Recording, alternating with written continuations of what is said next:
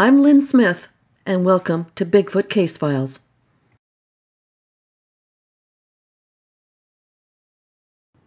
The Tanner Creek Stalker, 1993, submitted by Lex Loeb, age 49, of Cascade Locks, Oregon. Incident Summer 1993, Tanner Creek Valley, Oregon. I had an encounter in the summer of 1993. I was running a trail, or rather a service road, behind the closed gate at the top of the Tanner Creek area. I was enjoying my run and my solitude when suddenly something began pacing and following me swiftly and deep in the bush down below the trail. And it was talking. I was a good trail runner at the time and was running on an open trail. I can't imagine how any person could be running as fast as I was through the thick brush and below on those steep mountainsides. As I ran faster, it ran faster and continued to stalk me. I called out to whatever it was, and it mocked me. I called out, Who's there? and got back something that sounded about the same. This terrain is not an echo chamber. I then said, Hello, hello, hello, and got back, Hi ho, hi ho, hi ho. I ran the hell out of there much faster than I normally could have to my car and got out of there. That may be the reason the Forest Service shut off access up there. It's probably a half day or a whole day hike now since they closed the road, but if you want your own experience, I suggest you try going up there.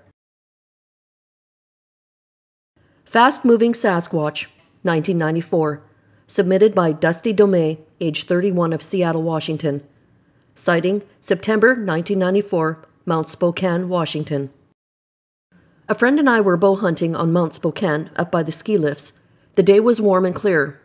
We both saw a creature outlined on the ridge above us, probably at a thousand yards or better. It was an upright figure, at least a foot or two taller than a tall guy, with a fairly wide body. We could not make out any features as the sun was behind it on the ridge, but it caught our eye right away because of how fast it was moving. At first we thought we spooked an elk, but right away noticed it was upright and moving on two legs the whole length of the ridge to the tree line, probably 5,000 yards.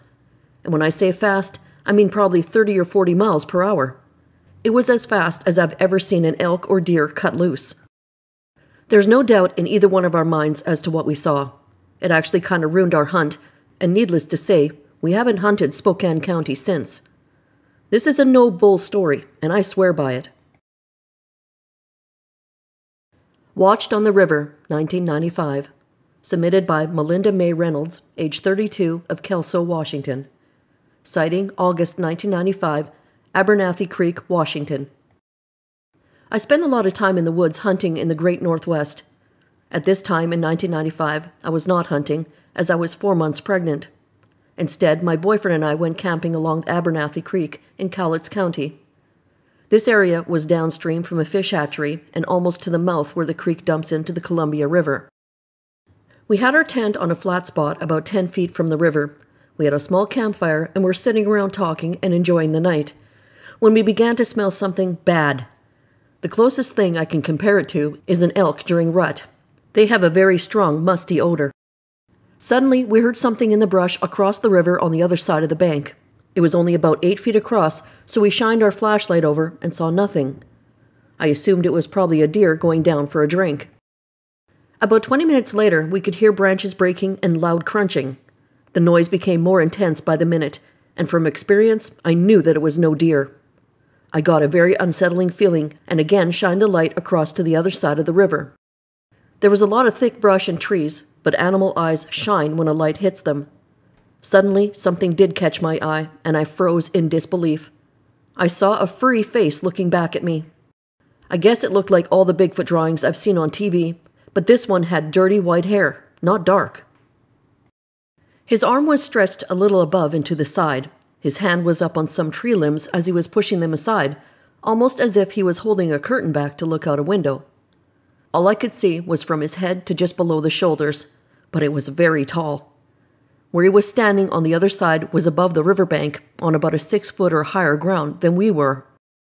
Given that, my guess would be that it was approximately seven feet tall, although I got the impression he was bending to look through the opening in the brush. The hair was longer around the head area than the shoulders and arms. Circling the face was all hair, yet the hair was sparse around the eyes and nose area. The hair seemed to stick up rather than laid or brush back, about four to six inches long, kind of like those funny looking lizards that have the frill around their head. His mouth was closed, almost drawn down, so I saw no teeth. The nose almost seemed like an ape with the wide nostrils. I almost swear the eyes shined back as red, but that might have been the fear that made me see that. I know deer and other animals shine yellow and green. He was not doing anything but looking at us. We threw sand as fast as we could to put out the fire, left the tent, and got out of there quick. Sheer fright would be a good description of how I felt. My boyfriend did not see it, but he heard all the loud noises in the brush and knew that I was good at identifying animals, and this was one animal I could not identify. I've been tight lipped about this thing, knowing I would get teased, and have never told anyone. I've hunted everything from bears, cougars, raccoon, deer, and elk, and never in all my time seen anything stand upright and look like this did.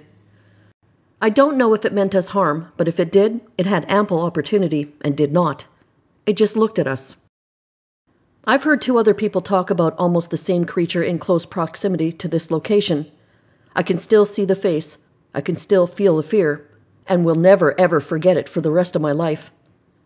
That's what I saw, and I'm a God fearing woman. Bigfoot Followed Me Home, 1996. Submitted by MJH, age 49 of Portland, Oregon. Encounter, summer 1996, Sandy River at Oxbow State Park, Troutdale, Oregon. I was camping with my son on the Sandy River at Oxbow State Park. I've been going there every summer for 20 plus years. In the morning after breakfast, I took my son for a walk through the woods. He was four at the time.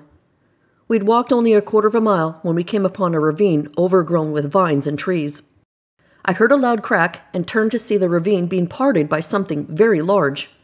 It was about a hundred feet from where we were, and the ravine was almost vertical, very steep and impossible to climb unless you wanted to cut away an almost jungle like growth that was about 60 to 80 feet high.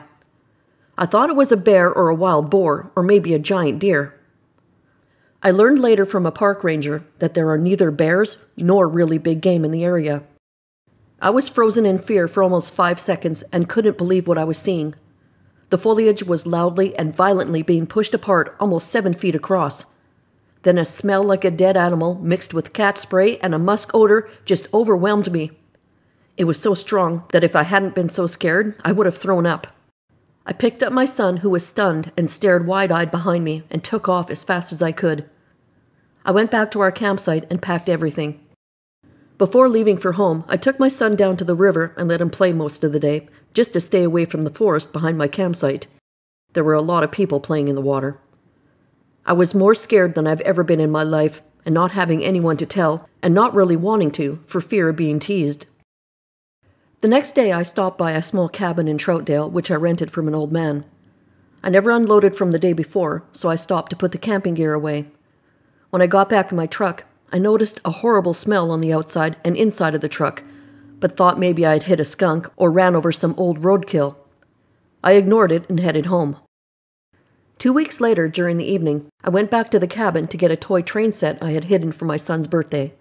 This was around 10 at night after I got off work. I went inside, grabbed the train set, and that horrible smell hit me again. I started to shake and was so frozen with fear I could hardly breathe. I opened the door, my truck only about four feet away, and as I ran to it and threw the train set in the front seat, this incredibly loud, shrill like scream hit me full blast from behind the cabin about three feet away. Then a gurgling sound, and then another scream. I jumped in my truck and tore out of there. About six car lengths away, I looked back to see if I could see anything, and sure enough, there was a Bigfoot standing right where my truck had been parked. It was about eight feet tall, with matted light brown, almost tan colored, long hair, maybe seven inches long. He had no neck to speak of, and I remember, as he was standing next to the cabin under a light, that his arms hung almost to his knees. He was just standing there, looking right at me. I've never been so terrified. I floored my truck and didn't stop until I reached downtown Gresham, about 10 minutes away. I will never know if he followed me from the park or just lived nearby.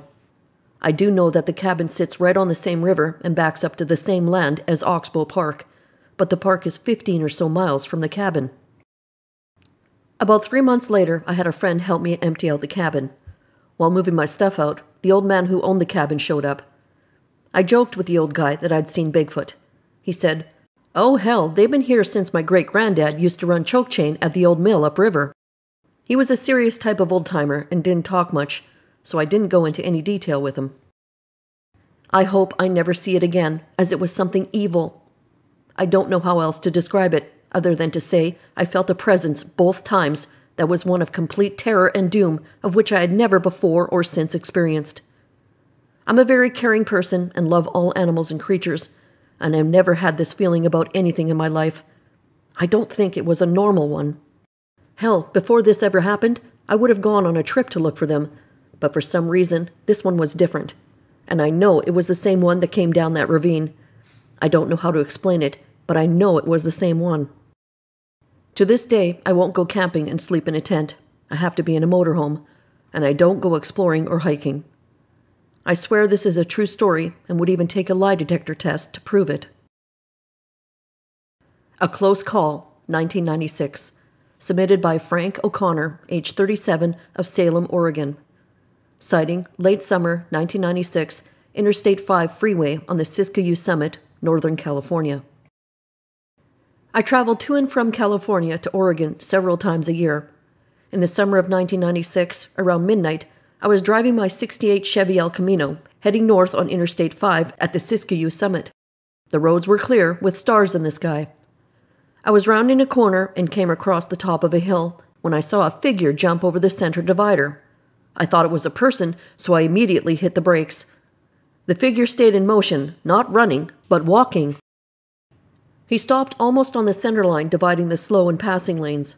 I swerved and stopped pretty much in the middle of both lanes. With my car in the middle of the road, not more than 20 feet away from him, I could see plain as day that it was a Bigfoot. This was not a sighting from a distance. I came within feet of hitting him, and he looked me right in the eyes. We sat there just staring at each other. He was very large, over seven feet tall, tall like a basketball player, but built like Paul Bunyan. All around, built tough. He was kind of hunchback. His hair was a medium dark brown and covered his body, about three inches in length, and very unkempt. Just a hairy mess, really. His arms were incredibly long. His eyes were dark and matched his coat. They just blended. I don't recall any skin like I've seen in drawings. He had hair all over his body and face. He looked to me like a large human with hair all over. If you've ever seen the movie Harry and the Hendersons, he really looked almost like that. The build, the hair, and shape. It was like the person who made the character had seen Bigfoot himself. We looked at each other for what seemed an eternity. I was really trying to believe what I was seeing, and I looked for as long as I could. The creature seemed just as curious about me as I was of him. He looked like he was scared, unfamiliar with the territory he was in, and very hesitant to leave. I don't remember being scared. I was well aware of his enormous size and strength, but I never felt threatened. He finally started walking again, a few long strides, and he was off to the side of the roadway and gone. I had the chance to try and run him over. For the sake of science, I thought of it, hitting him and capturing him. Had I not braked in the first place and had not been paying attention, there was a great chance I would have hit him accidentally. I realized that I had come across a very rare opportunity to actually see this elusive creature firsthand, and he's better left alive and alone to dwell in his own environment. I always believed in Bigfoot, and now I'm a true believer. I've seen him, I can tell you it was not a hoax, and he does look like all the pictures you see around. Thanks for listening. I think you might find this video of interest as well. If you've had an encounter or sighting of a Sasquatch and would like your story told here, please email me, Lynn Smith, at bigfootcasefiles at mail.com. I'm looking forward to hearing from you.